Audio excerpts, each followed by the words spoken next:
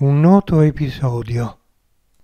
Nan Yue, vissuto a cavallo dei secoli VII e VIII d.C., maestro zen cinese di cui si ricorda un noto episodio. Matsu, un altro maestro, sedeva in meditazione quando Nan Yue gli chiese cosa volesse ottenere standosene così seduto. Matsu rispose che voleva diventare un Buddha. Allora Nayue si mise a sfregare un coccio contro una pietra e spiegò che intendeva lucidarlo fino a farlo diventare uno specchio.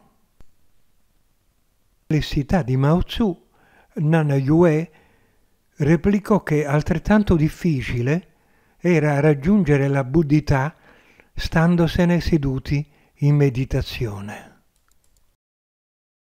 Commento. Anche la meditazione, che è un atto egoistico, la cui patria è la spiritualità orientale, merita un avanzamento, che è la preghiera.